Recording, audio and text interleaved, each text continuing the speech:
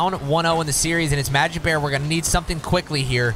Ball reset back to mid. Push to the wide, and it's Retals at the deep corner, and here's the opportunity I talked about.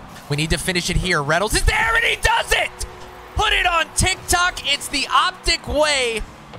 We'll be down the whole game. It doesn't matter. We will find the back of the net when the clock strikes zero.